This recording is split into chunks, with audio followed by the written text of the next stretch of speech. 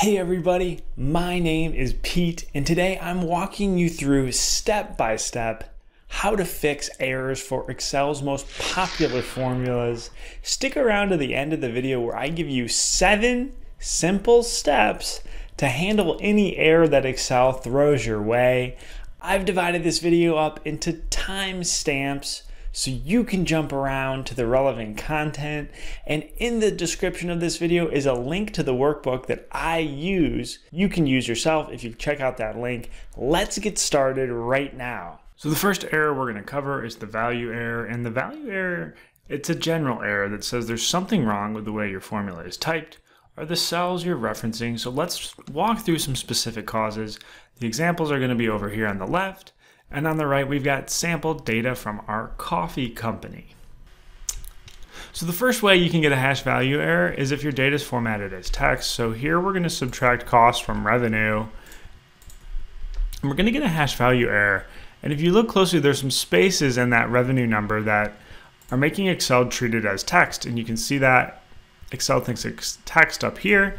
And if you have a lot of these, you can use the is text formula and it will tell you whether or not Excel thinks it's text for all of your data, and you can see it's, it's true here. So the, you can go in here and you can manually remove all the spaces. You can also use the find and replace menu. So you can find a space and you can replace it with nothing. And when you make that replacement, the formula is fixed and the hash value error is removed. The second way you can get the hash value error is when dates are formatted as text. So we're going to find the difference between these two dates. And Excel is going to return a hash value error. And like the example before, there's a space in here that's hidden. And Excel is interpreting these dates as text. And so I'm going to paste them down here. And I'm going to go to Data, Text to Columns. And I want delimited. And I want to put a space. And I'm going to finish. And so that's going to convert those dates to uh, actual dates. And when I paste those in, the formula is fixed, the hash error, hash value error is removed, and we're good to go. So the next reason you can get a hash value error is if your formula refers to another hash value error. So in this instance, I'm going to sum these cells and get a hash value because there's a hash value in the source data. So you can go in and, and you can fix that hash value in the source data and that will fix your formula. But you can also write an array formula. So I'm going to write an array formula and that's basically wrapping your sum formula in an if is error. So if this range is an error, return a blank, otherwise just return a range. And this is an array formula, so you'll have to either press Control Shift Enter if you have an earlier version of Excel, or just Enter is going to work. And that's going to remove the hash value error and get your formula working again. And this technique works not just for sums, it works for averages, sum products, if, any formula that's referring to a hash value in the range. So another way you can get a hash value error is with a formula like a sum ifs or a sum products where you have two different ranges. So in this example, you can see the the sum range goes through row 8, but the criteria range goes through row 7. And that's delivering a hash value. You need consistent ranges. So if you drag down this range so that they're equivalent, they're both going through row 8, you're going to fix that hash value error and the formula is going to work as expected. Formulas like sum ifs and count ifs can give you an error if they're referring to a workbook that's closed. And so to find out if they're if your spreadsheet's referring to a workbook, go to Data and click Edit Links. And you can see that there is a, a workbook that it's referring to. And when you open that source, that hash value error is going to be removed and the formula is going to be back working properly. The last hash value error involves a VLOOKUP, and we're going to stick on VLOOKUP when we go to the hash NA section next. But um, VLOOKUP requires a column index number, and if that column index number is less than one or contains text, it's going to return a hash value. And so when I make this column index number one, you'll see that the formula is fixed, the hash value is removed, and it's working as expected. The most common cause of the hash NA error is with VLOOKUP when a formula can't find a reference value. So let's dive into the specific instances for pound NA. In this first example, we're going to cover what happens when a value truly doesn't exist. So we've got a VLOOKUP for looking for customer 525. And if you look at the lookup table, it's not there and it's truly not there. And so in those types of instances where the value just isn't there and, and the hash NA is actually valid, I wrap the formula in an if error. And so we can say if it's an error, say inactive customer. So that way, rather than returning that hash NA, Excel returns a little more visually pleasing error which says inactive customer. The next reason why you can get a hash NA error is if your data is stored as text. So in this example, we've got a VLOOKUP. We want to see which customer spent $42 on revenue. We're doing a VLOOKUP on 42 and we can see 42 in the lookup table, but it's giving us a hash NA.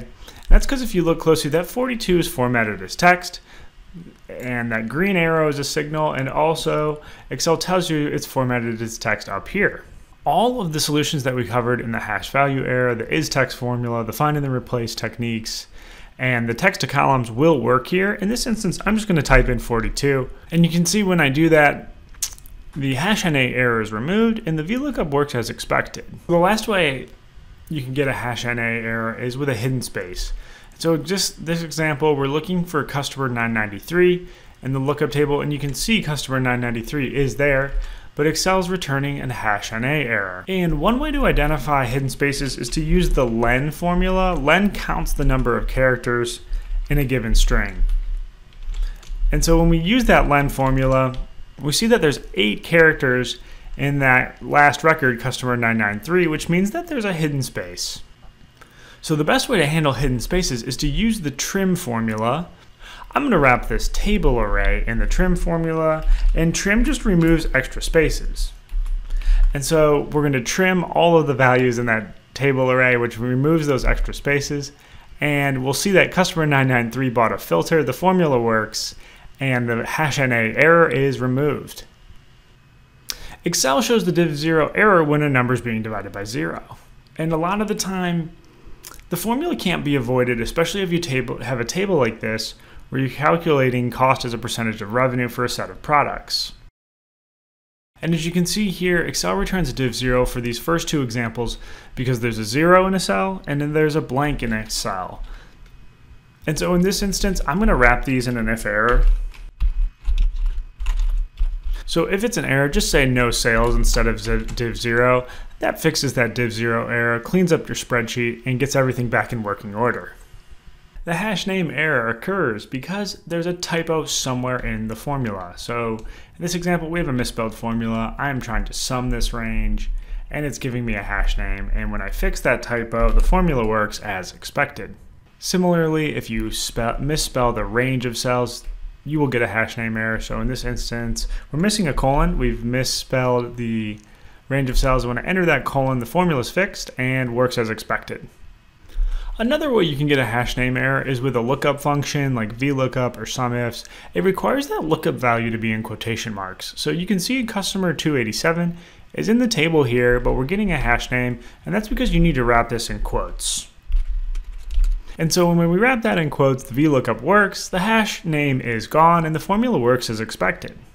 Lastly, if you misspell the named range, you're also going to get a hash name error. So if you see here, we do have a named range called cost over here, but the formula is misspelling it. So when I fix that and I press enter, the hash name is removed and the formula works as expected.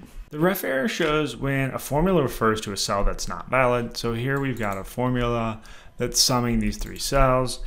And for example, if I were to delete this cell, that's going to deliver a hash ref error because you're deleting a cell or a sheet or a tab that the formula is referring to. So there's two ways that you can handle this. The first is you can control Z and undo it so that doesn't happen again.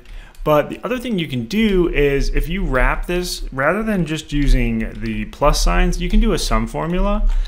And a sum formula is more immune to that type of an error. So when I delete this and the, the cells shift up, you can see that the sum formula doesn't return a hash ref error. The next way you can get a hash ref error is through relative references, and references by default are relative, which means that if I were to take this formula here and paste it in the cells above, you'll see that the cells that are being referred to increase as the formula goes up in the cells, and eventually there is no cell above G1 and H1, and that delivers a hash ref error. So one way to overcome this is to just use an absolute reference, which means enter the cell and press F4, and that means no matter where you paste that formula, it'll always refer to the same cells and the hash ref error is removed. The last way you can get a hash ref error is with an invalid reference in a formula like VLOOKUP or index. So as you can see here, we're looking up customer 993 in this lookup table and asking for the third column. Well, it's only a two column lookup table. So you can't ask for the third column of a two column lookup table and Excel delivers a hash ref. So you either need to update this number the column index number, or you can expand the lookup range that will fix the hash ref error and the formula is good to go. The num error in Excel occurs when the formula contains numeric values that aren't valid. The first way you can get a hash num error is with an invalid number. So here we're going to take a square root of this number and it's going to give us a num error because the square root of a negative number does not exist. So the way to overcome that is to wrap that number in an absolute value formula. And that interprets the number as a positive number, fixes the formula, and the hash num error is removed. The next way you can get a hash num error is if the number is just too big to, for Excel to support. So here's a really, really big number, and that's going to deliver a hash number. If your number is too big for Excel to support, you've got to figure out a way to make it smaller, divide it by a thousand, divide it by a million, and report on it that way. The last way you can get a num error is using financial formulas like IRR or rate. So if you apply the IRR formula to this series of cash flows, you're going to get a num error because the IRR formula wants a, year zero cash flow to be negative. Um, and so when you update that year zero cash flow to be negative, the formula is fixed, that num error is removed. The null error doesn't happen that much, but if you've got one, you've come to the right place. The first way you can get that is with a missing colon, comma, or operator. So let's run through that quickly. This has a null error because it expects a colon between these cell ranges. When you enter that colon, the null error is removed. In this instance, these sum ranges are missing a comma. When you enter the comma, the null error is removed. And lastly, this formula is missing that last operator. So if when we add a plus sign, the null error is removed and all the formulas are working as expected. The last way you can get a null error is if you're using an intersect operator between two ranges that don't intersect. So here you're looking for the intersection of two ranges that don't intersect, and that's going to give you a null error. So make sure that the two ranges intersect. When I drag this one over and there is an intersection, the formula is fixed and the null error is removed.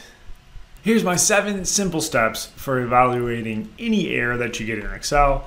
Break it down. If you've got a big formula like this, break it down into its constituent parts. Look at the VLOOKUP, look at the sum, figure out where the error is, and, and fix that piece. And the formula auditing eh, tab in Excel can actually help you out a lot the evaluate formula is super helpful and it'll walk you through step by step to figure out where that error is. Check for misspelling. Check for text and hidden spaces using formulas like len and trim and is text. Look for a range mismatch in formulas like SUMIFS and sum products where it requires ranges that are the same. Check for deleted cells or deleted sheets or even a closed workbook that might be causing uh, hash ref or other errors. And lastly, if that error is supposed to be there, wrap it in an if error so you can control what Excel returns when there's an error. Thanks so much for tuning in. Click that subscribe button so you can stay up to date on all my videos. If you learned something, press that thumbs up so I know that this was helpful to you. If you want me to cover something else, let me know in the comments section below, and I'll see you next time.